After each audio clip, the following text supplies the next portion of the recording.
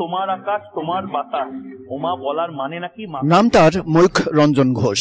পেশায় একজন সাংবাদিক হলেও আচার আচরণে মলম বিক্রেতা কিংবা জোকারকেও হার মানায়। কথা বলতে বলতে ছুটছেন স্টেজের এক প্রান্ত থেকে অন্য প্রান্তে। উদ্ভট অঙ্গভঙ্গি করে বেশ আলোচনায় রয়েছেন ভারতীয় সংবাদ মাধ্যম রিপাবলিক বাংলার এক সাংবাদিক। জবাব চায় বাংলা যখন আর বাংলা রিপাবলিক বাংলাতে সম্প্রচারিত হয়। বাংলাদেশের ময়ূখ রঞ্জন ঘোষের এই অদ্ভুত ও উত্তেজনাপূর্ণ উপস্থাপনা নিয়ে এরই মধ্যে সমালোচনা ও বিতর্ক তৈরি হয়েছে বাংলাদেশে।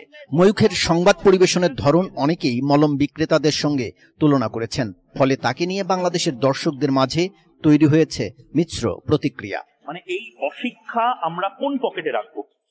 পকেটে রাখব? কোটের পকেটে রাখব? এরই মধ্যে সামাজিক যোগাযোগ মাধ্যমেও তাকে নিয়ে ট্রল সমালোচনা এবং চর্চা অব্যাহত আছে। বাংলাদেশে ময়ূখের সংবাদ পরিবেশনকে অতিরঞ্জিত এবং নাটকীয় বলে আখ্যা দেয়া হয়েছে। বিশেষত তার চিৎকার চেঁচামেচি ও অঙ্গভঙ্গি অনেকের কাছে বিরক্তিকর ও অতিরঞ্জিত বলে মনে হয়েছে। জানতে হবে বলতে হবে সারা পৃথিবীকে জানান কারণ অন্য সংবাদ মাধ্যম অনেকেই বলছেন ময়ূখ রঞ্জনের এই উগ্র উপস্থাপনার পেছনে মূলত টিআরপি বাড়ানোর একটি কৌশল। রিপাবলিক বাংলা চ্যানেলটি বিজেপি পন্থী সংবাদ মাধ্যম হিসেবে পরিচিত এবং তাদের মূল উদ্দেশ্য হল যে কোনো উপায়ে দর্শকদের দৃষ্টি আকর্ষণ করা। মৈখ্যরঞ্জন এই কৌশলকে কাজে লাগিয়ে তার ব্যক্তিগত জনপ্রিয়তা ও চ্যানেলের টিআরপি বৃদ্ধি করার চেষ্টা করেন বলে অনেকের ধারণা। দেখুন, জাতীয় সংগীত আপনাদের মধ্যে ফেলবেন আপনারা। আপনারা কি তৈরি করতে চান? নতুন মৈক্যরঞ্জন ঘোষের এই অভিনব উপস্থাপনা পশ্চিমবঙ্গের সংবাদ মাধ্যমের বর্তমান অবস্থার প্রতিফলন বলে মনে করছে বাংলাদেশের অনেক দর্শক। যেখানে উত্তেজনা এবং বিনোদনমূলক উপাদানকে প্রাধান্য দিয়ে সংবাদকে নাটকীয়ভাবে পরিবেশন করা হয়। তবে এ ধরনের উপস্থাপনা কতটা কার্যকরী বা সাংবাদিকতার নৈতিকতার সাথে কতটুকু সামঞ্জস্যপূর্ণ, তা নিয়ে সমালোচনাও রয়েছে। বুঝিয়ে দিচ্ছি আর আপনারা বুঝে যাচ্ছেন, আপনারা তো ইন্টেলিজেন্ট বাংলা রঞ্জন ঘোষের উপস্থাপনা দর্শকদের একাংশের কাছে বিনোদনমূলক হলেও অনেকের মতে এটি সাংবাদিকতার প্রকৃত মান ও গুরুত্বকে ক্ষুণ্ণ করে। তার অস্বাভাবিক উপস্থাপনা শৈলী পশ্চিমবঙ্গ এবং বাংলাদেশের সংবাদ জগতে একটি হাস্যকর নতুন ধারার সৃষ্টি করেছে। এটি মূলত চমকপ্রদ এবং অস্বাভাবিক সংবাদ পরিবেশনার উপর ভিত্তি করে তৈরি বলে মনে করছেন দর্শকরা। এই মুহূর্তে ময়ূকের প্রশ্ন এবং এই যে দেখেন এখানে ভাঙছে কি ভাঙছে? আপনারা দেখেন মূর্তি ভেঙে তো বড় করছে কিসের জন্য?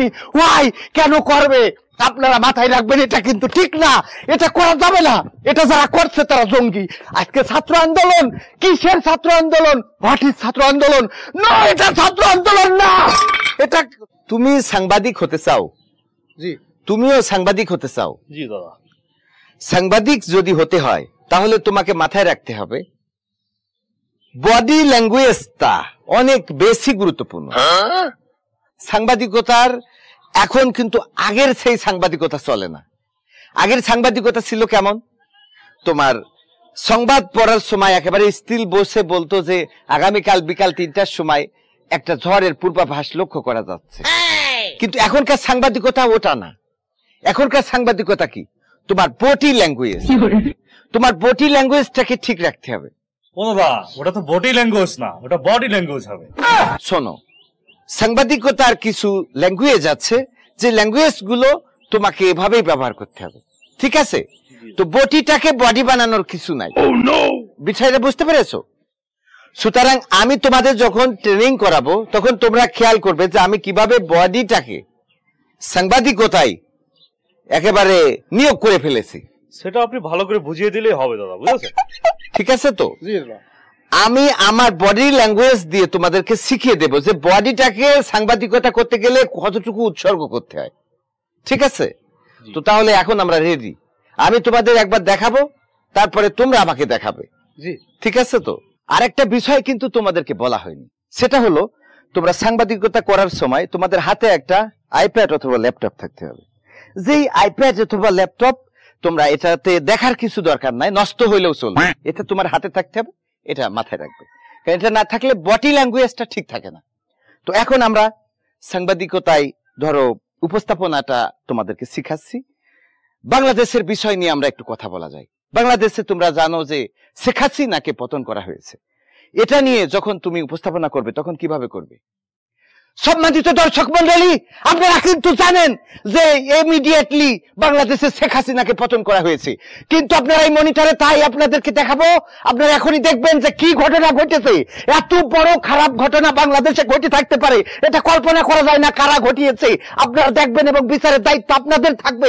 সম্মানিত দর্শক মাথায় রাখবেন যে এরকম কিছু বাংলাদেশে হতে দেওয়া হতে পারে না। এই যে দেখেন এখানে ভাঙছে কি ভাঙছে? আপনারা দেখেন মূর্তি ভাঙে তো বড় করছে জন্য ভাই কেন করবে? আপনারা মাথায় রাখবেন, এটা কিন্তু ঠিক না। এটা করা যাবে না। এটা যারা করছে, তারা জঙ্গি। আজকে ছাত্র আন্দোলন, কিসের ছাত্র আন্দোলন? ভাটির ছাত্র আন্দোলন। না, এটা ছাত্র আন্দোলন না! এটা চশমা কই? ফেলাইনি এটা কখনো ছাত্র আন্দোলন হতে পারে না। এইভাবে উপস্থাপনা করতে হবে। ঠিক আছে? এখন তুমি আমাকে দেখাও। দাদা আপনি যদি আমাকে একটু অভয় দেন, আমি শুরু করছি না, তাই দাদাকে দিয়ে শুরু করা আচ্ছা তাহলে তুমি আমাকে দেখা উপস্থাপনাটা ঠিক এভাবে হতে হবে। জি দাদা। পারব আপনি অনুমতি দেবেন দাদা। কাঁচা মারছে কেন? কাঁচা মারবো না আপনি যেভাবে আমাদের শিখলেন এইভাবে করতে গেলে তো আমার কাঁচা মারতে হবে না তো আমার বিপদ সীমার উপরে কাপড় উঠে যাবে দাদা। এটা ঠিক সাংবাদিকতা করার সময় যেন বিপদ সীমার উপরে কাপড় না ওঠে ঠিক আছে। ওকে হ্যাঁ জয় আপনারা দেখছেন এই যে এই মাত্র আমাদের দেশে এই যে কি ঘটে যাবে আপনারা কিন্তু আপনারা দেখতে পাচ্ছেন কিন্তু আপনারা দেখছেন এই যে আমাদের হয় নাই হয় নাই হয় নাই হয় নাই হয় নাই হয়। নাই। এক জায়গায় ঘুরে এটা সাংবাদিকতা না। একবার ক্যামেরাম্যানের দিকে তাড়িয়ে যাতে হবে। একবার উপস্থাপকের দিকে একবার মনিটরের দিকে। এখানে তো মনিটর এটা মনিটর। মানে কথার কথা এটা মনিটর। এদিকে তেড়িয়ে আসতে হবে। তাহলে প্রথম উপস্থাপনাটা হবে এইভাবে। এই যে আপনারা কি দেখছেন? আজকে বাংলাদেশে কি হতে চলেছে? দেখুন এই মনিটরে দেখুন। দেখুন কি হচ্ছে দেখুন। এটা কি মেনে নেওয়া যায়? এটা মানা যায় না। ঠিক আছে? এটা ধরেন আইপ্যাড ভেঙে গেছে। আপনি দেখান। দাদা আরেকটুখানি হলে তো আপনি আমার মাথাটা ফাটিয়ে ফেলেছিলেন। অসুবিধা নাই। এখন তুমি দেখাও কীভাবে উপস্থাপনা করতে হবে। দেখাবো? তা কি হচ্ছে? দাদা শুধু দেখতে থাকুন। এই দর্শক আপনারা দেখছেন যে বাংলাদেশে ছাত্র আন্দোলন হচ্ছে এত সমস্যা। এই সমস্যা কিন্তু আমরা কিন্তু এই মনিটরে দেখতে পাচ্ছি। ছাত্ররা কিন্তু মনিটর বাড়িয়ে ভেঙে ফেলেছে। শুধু তাই না বাংলাদেশে কিন্তু আরও অনেক ধরনের সমস্যা কিন্তু হচ্ছে। মূর্তি টুর্তি সব ভাঙিয়ে চুরমার করে ফেলাচ্ছে। দাদা পেরেছি কিনা? বলুন দাদা। অনেক ভালো হয়েছে তবে আরও একটু ভালো হওয়া দরকার ছিল। সেই ভালোটা হলো এই যে এভাবে কিন্তু লাভ দেওয়া হয় নাই। ও। এটা হ্যাঁ। আমি বললে দর্শক আমার লাভ দেওয়া হইল না। তা আমি আরেকবার এসেছি। এখানে এখানে একবার করে লাভ দাও। ওয়ান টু থ্রি এক সান দুই সান তিন সান চার সান পাঁচ সান ওকে এবার এবার দেখো। এবার তোমাদের আমি ফাইনালি দেখাচ্ছি। তোমরা এক সান দুই সান তিন সান চার সান করেছ না? এবার কিন্তু ফাইনাল এটা দেখার পরে তোমরা কালকে আবার নেক্সট আমরা তোমাদেরকে উপস্থাপনা শেখাবো।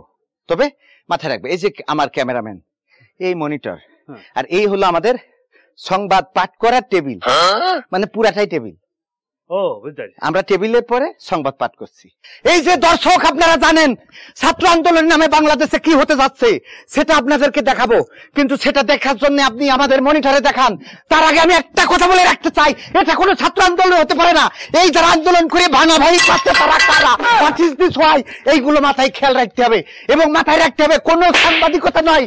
যারা শেখ হাসিনার বিরুদ্ধে কথা বলবে, তাদেরকে তারা কারা? তারা কারা? এইটা হলো কথা। এভাবে করতে হবে।